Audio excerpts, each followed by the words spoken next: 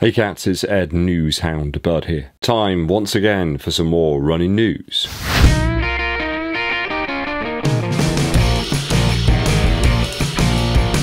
Thanks for tuning in and sticking with us here on Ed Bud Running Shoe Reviews, always appreciated. If you've yet to do so, help the channel out by becoming a subscriber, it's free of charge. And also click that bell below for notifications when we roll out the new videos for you. Also helps a huge amount too if you give this video a thumbs up like and also share it with your running buddies. Mucho gracias. Story 1. We have a new 10k women's road record. It's an Ethiopian athlete. I'm not even going to try and pronounce her name. I don't want to sort of be disrespectful by pronouncing it incorrectly so it's on the screen right now. Yehualaw, perhaps is her surname. Incredible performance here. Clocking in at 29 minutes 14 seconds over in Spain. It was a coastal 10k race that took place on the 27th of February. This follows some insane times achieved by that same athlete over the last year. I believe she ran 1 hour 3 minutes and 44 seconds on the half marathon, but sadly they found out that that course at the time was too short, which is soul destroying. I can't even imagine how that must feel if you think you've run a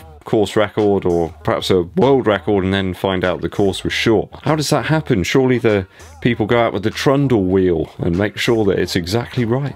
That's what they do here in the UK anyway. I think it was like 54 metres short. I think she finished a clear one minute ahead of the next competitor behind her. Really is a race to remember when you finish that far ahead of someone else. I think the women's track time record for the 10,000 metres is a touch lower, but not by much. So at 29 minutes 01, she's really not far off actually the track. We all know it's a, perhaps a little bit faster on the track less to worry about, less bends. Just keep going round and round the same way. Perfect conditions there. They said there was no wind whatsoever. I think it was about 12 degrees centigrade. I think this is made even more amazing by the fact that back in January she had a positive virus test, so he's had to overcome that and recover. Still managed to knock it out the park this time round. That must make the record all the more sweet. Look at those shoes too. I've always wanted a pair of those Next Percent 2s in that colourway, but no dice. Story 2. Mystic Ed predicts that the Alphafly Next Percent 2 might not be far away. I reckon that Nike could be getting ready to release this one very, very shortly. We've seen loads of images of the GOAT Kipchoge wearing them during his training on the build up for the Tokyo Marathon. There he is on the track wearing his Alphafly Next Percent 2s, you know, because that's where everybody in England wears them. Seems to be a prototype style colourway, very similar to the Next Percent 2 we saw last year and the Streakfly that appeared early this year. That man is the true bringer of peace and harmony, isn't he? I hope his efforts inspire a few more disciples to take up this wonderful sport of running. Better it be full of running than some of the stuff that's been going on recently, right? I think with lots of discounted and reduced Alphafly shoes out there at the moment, it seems almost time with spring here ready for Nike Running to drop their new super cushion distance shoe. Price wise, I predict a small increase over the current Alphafly price. Hopefully it won't be as much as that Next Nature version, which is almost £300 over here in the UK. People just don't have the Earth credits, man. I'm not saying that a price increase is right, but I just don't see them putting it up as less. You know, that's not going to happen, is it? Even last year when they released the Next Percent 2, the initial versions were a little bit cheaper and then slowly the price has gone up up and now it's pretty much back to exactly where it was. As I say, I hope it's not 295 Earth credits because that's just crazy. I will be very keen to try out the Alphafly Next Percent 2 when it does drop. And it'll be very exciting to see how Kipchoge gets on wearing those in the Tokyo Marathon. Wouldn't it be ace if he turned up in a pair of Streakflies just to fool everyone and show them that he could probably destroy them just wearing those. In fact, I reckon if he wore a pair of Pan Ams, he could still beat everybody. Remember those? In fact, I think that Kipchoge and the rest of his gang could probably get away with racing in a pair of the Robert Rosario high-tech soccer shoes that I used to have. They'd still trash everybody. Story 3. The London Marathon is one of the biggest of its kind, and many hopeful runners will have their fingers crossed when the ballot is drawn very soon. They're sticking with the October slot for the marathon this year in 2022, and those ballot hopefuls will have to wait a little bit longer as the organisers have announced a delay. I think it's March 14th, that's the day. Put it into your phones, write it onto your calendars. I think they've clearly had some issues trying to figure out who deferred their places from 2020 and also from 2021 perhaps. Of course everybody wants a place but the chances are very slim it has to be said unless of course you can get a good for age place or a charity position as well. Why don't you go and do that? Get yourself a charity place and raise some money for a good cause. I can think of loads right now that really need it. I think back in 2020 there were 17,500 places normally available through the ballot, but when you consider back then over 457,000 people entered the ballot, that's probably going to give you about a 3.8% chance of getting lucky. That's pretty low. That's better than winning the lottery, I suppose. It's still pretty low, isn't it? This is, though, still one of the cheapest marathons around if you do get lucky and get a place through the ballot. I think it's like 47 Earth credits if you're an affiliated club runner.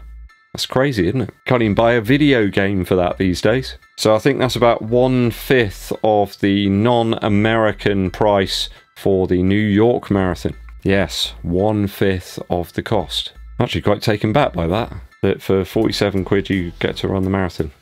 You get a place. That's pretty good, isn't it? Also, quite excited to see that Kipchoge is looking at trying to win the big six, so he's done all of them. That'll be awesome. You know that if he does it, Nike will have a special Alphafly edition with like some logos or something on it from all six marathons. Maybe they could have an image from each place. So New York could have some sort of like deli sandwich. London could have like fish and chips on it. For the Berlin one, they could have a bratwurst. On those cold winter afternoons, guys, I really like sitting down on the sofa with a nice cup of coffee, maybe a shortbread biscuit, and trawling through the World Athletics shoe compliance list. The rain on the window pane, and I'm there warm, looking at the new development shoes that might have been released. Well, as luck would have it this time round, Nike do have a new development shoe there. A higher stack shoe, must be lower than 40mm, but certainly higher than 25mm. Looks like this one's okay for road races, but that's your lot. I wonder what it could be. Could that be the Alphafly 2? You never know. There's another development spike there too, which appears to be a lower than 20 mil beast. That means it should be available and usable for any track and field activity. Interesting that the Adios 3 through to the 6 would actually be usable on the track.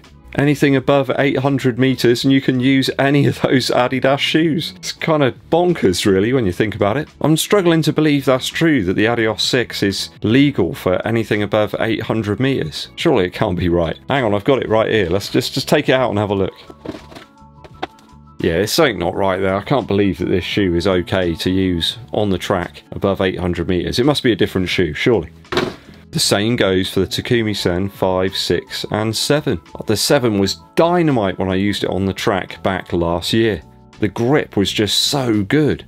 It was like the shoe really felt at home on that surface. Let's not forget that the Adios series was once a marathon shoe, wasn't it? It was like Adidas's race offering. Now apparently it qualifies for anything above 800 metres. Insane development direction, guys, over the last few years. What used to be a more cushioned type of shoe that you'd perhaps consider wearing for a marathon, well, now it just seems like some sort of low stack slipper. That's all four of today's running news stories. What do you make of these? Let me know down in the comments. The more observant of you would have spotted the Terra Kiger 8 just behind me. It's been filling the room up with that wonderful rubbery like odour all afternoon. Hope to get out in this one in the next couple of days. Want to do it some justice on some nice muddy trails and I think that's what we'll have over the next few days. Mmm, good smell score out of the box. I'd say maybe a 8 out of 10. It's time for a musical interlude. I'm pretty sure that 1998 was one of the best years for albums. There's so many good ones released in that year. I've gone back into the archive and dug out The Dirty Boogie by Brian Setzer Orchestra. Now, pretty much every track on here is great. It's got a wonderful sound, earthy guitars, which is what you always get from Brian Setzer, plus those incredible arrangements and orchestrations. The mood here is wonderful. You've got this sort of very turbocharged guitar, but complete with those very old time sort of big band sounds. The winner here, though, is the instrumental version of Sleepwalk. What an.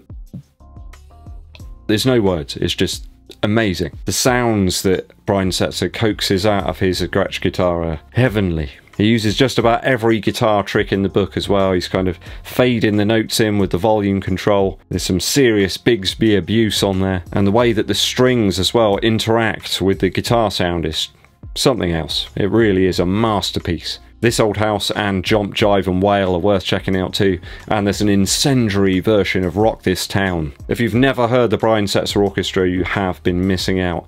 This will complete your life. I promise you. Go and check it out now, guys, from 1998 The Dirty Boogie by Brian Setzer Orchestra. All that's left for me to do is say Dankeschön, thanks for tuning in, it's always appreciated.